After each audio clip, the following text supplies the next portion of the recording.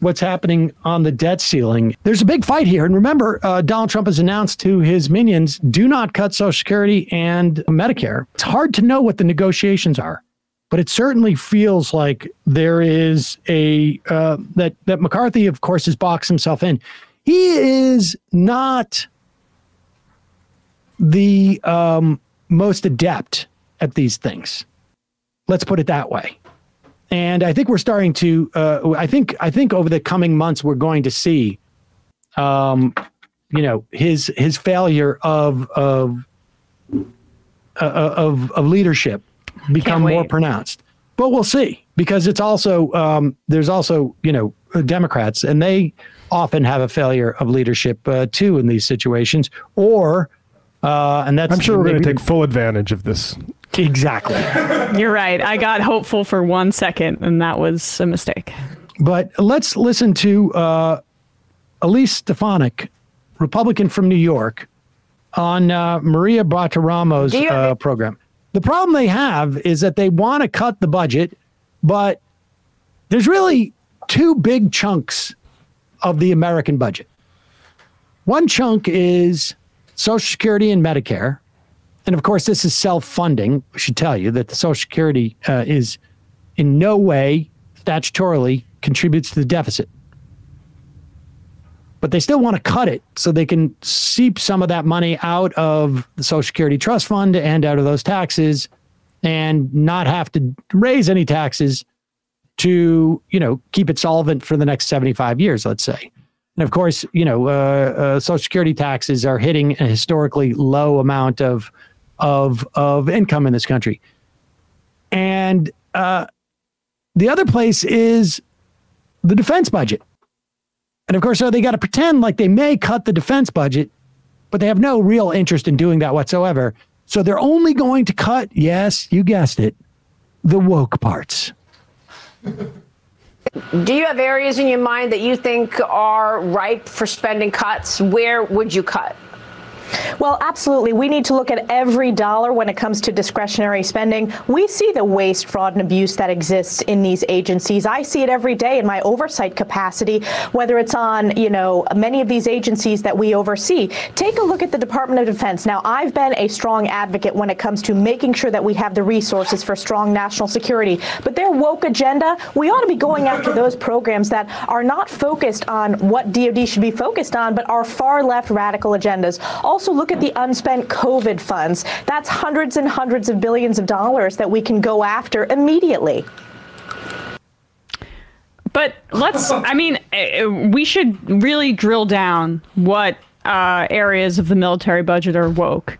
To be honest, I feel like we should turn over every stone and look into every nook and cranny because the wokeness seems to be spreading like wildfire within the military. And just to be safe, I think we should just cut it in half and begin from there. The F thirty five, that's a woke project. Pretty sure we should nix that. Take it apart uh, one by one. I, there, the the wokeness is just. I would love love one time for uh, one of these uh, uh, hosts to say like, okay, give us like three woke programs and yeah. how much are you going to be saving on those woke programs let's do some like na- the nature accounting. of like like the nature of the advertising right? Like it's not mm-hmm. even like we're not going to cut back on the advertising budget. We're just going to cut back on the part that like has a rainbow flag. Right, the one that says we want we this is a safe space for anyone with your gender identity is, if you want to commit. To uh, be clear, like they're not doing that because they want to like spread uh, LGBTQ sentiment or uh, through the world because that's a Department of Defense priority. They're doing it because they're trying to recruit gay people because it's better to have all types of people than just like sort of like right wing fundamentalist Christians in your uh, global military. It makes it well, more durable, to, right? We're not just trying to recruit gay people they're trying to project to all right exactly uh, yeah. potential um, you know people who need money and uh, you know uh, uh, can't afford college let's say uh, or want some structure in their lives or whatever it is reason that they go in that they're trying to project that like we're not the we're not the notion of the military that you have in the past. We're not right. like, you know, we accept all people. We are open. We're non-discriminatory. That's all they're trying to say. It's woke washing. It's what like in it, it's a way to essentially obscure what the military military industrial complex what we actually do by pretending that it's like this equal opportunity uh area. It's it's all companies no, that I- tell their new recruits like actually like Exxon here at Exxon we actually do care about the environment Right. and we're doing all these sorts of things that you can be a part of too. I don't even think it's I I actually don't think it's I don't think it's quite that. I think it's more like I mean they're not the the wokeness does not the the wokeness does not sort of hide what the military does. What the wokeness just says as an experience. It's not going to be you know, the, this is not the great Santini anymore, or this is not like there It's is not both, bigotry. Well, it, it may be both, but I think like it, it- like honestly, like it's really in the same way. Just they want to say like this is going to be a comfortable culture because they know that your average eighteen year old now does not want to be surrounded by a bunch of bigots. Right. Yeah, but the average 18 year old also grew up in an Iraq war era and or in the wake of that and has an understanding of United States empire that is anti woke. And so when you bridge that, that's how and also it just it makes it more durable to continue empire if you have a, a wider swath of people in it because it's you're able to I, I to distribute it more evenly and make it seem less like an old boys club, which seems antiquated. You're updating the software. Yeah, I, I mean, I, I agree. Maybe we're splitting the hairs here, but I just also think that like you're you're targeting uh, very often, you know, sort of um, you're targeting black people in this country. Uh, you're targeting and, and you you want a wide array of people, but you want them to not think that the the the military is bigoted. The the the the imperialism that's a different story but um it is it is i think like the the idea i i- it's just simply branding like like a corporate culture and it's a, co- a corporate culture that you know is open to everybody and, and and it is completely a recruiting uh t- tool and nothing more And not a And project, like a social an eff- conditioning project. right it's probably an effective recruiting tool i mean so That's it, yeah. the No, best but- way to deal with the wokeness Yeah, cut cut. down the military Right. No, it's it's not it's not we have to maintain it's not just a PR thing. It is all throughout the military, Sam, right? That's why we have to cut. Wink, you know, got it? No, I get what you're saying. Yeah, absolutely. I'm not being There's no exactly. but I do think that if they were to like maybe promote the military as being anti woke, they'll get less recruits. Exactly. They they've, they have it. They have it. They've been effing up recruiting so badly on both ends because, like, one, they're trying to like get the Pentagon to stop doing this like basic like recruiting a like a Gen Z person, which is like not a bigot, and also they're saying uh, to the people who like they want to see in the military, which is like rabid sort of evangelical Christians. Right. They're saying like actually it's going to turn like brainwash you into a CRT person. Right, Exactly. So those people also aren't signing up. So they're really like undermine the military. And I just say like keep it up, boys.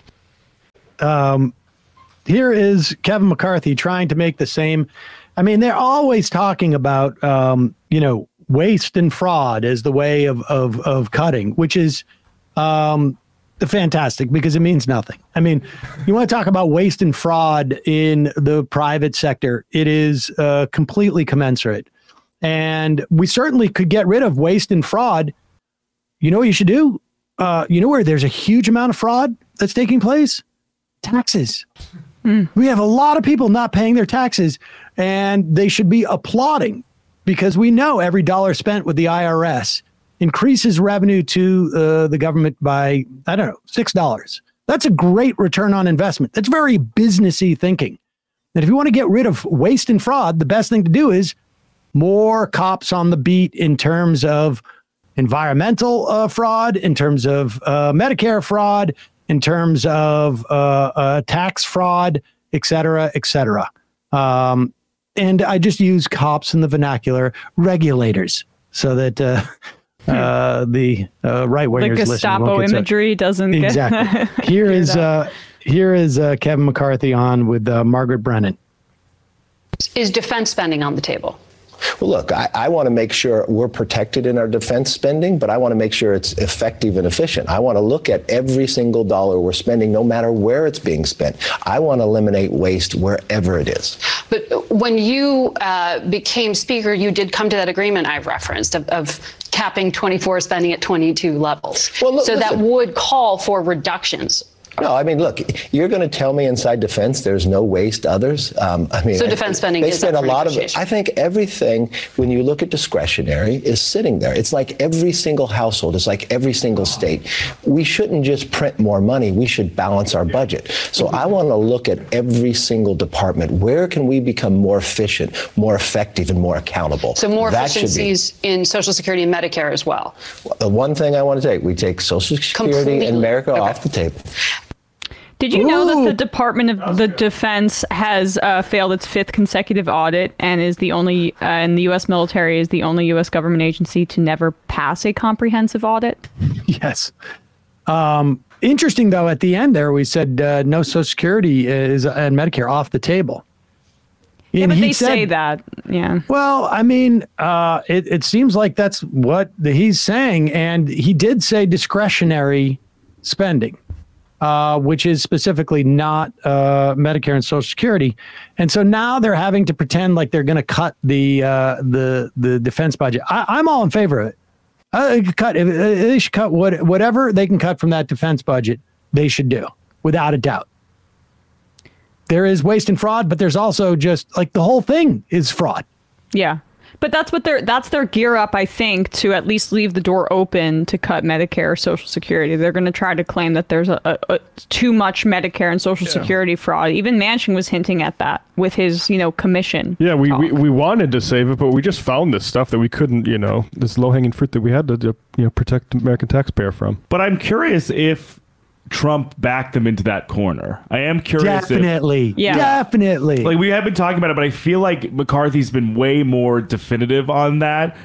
As soon as Trump made that video, being like, "It would be the worst thing for you guys to do to touch it," but then it backs him also into the, "We need to cut the wokeness out of the military." Which, Definitely. which also doesn't uh, sit well with a lot of other Republicans that aren't like you know Paul Gosar and Matt Gaetz. So it's a it's a tough line McCarthy's going to be walked walking when Yeah. push comes to shove. Actually, in these negotiations. I mean, let's be clear. The defense budget is, I would, I, my guess is, just objectively speaking, even aside from what I want the military to not or to do or to not do, 50% of it at least is a fraud.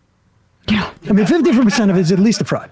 Like, you know, just like even the, like these massive, um, you know, uh, development of, of, of airplanes and uh, fighter jets. And, uh, I mean, 50% of it is a fraud. We don't need these things. Yeah, the F 35 program has gone over its original budget by $165 billion to date.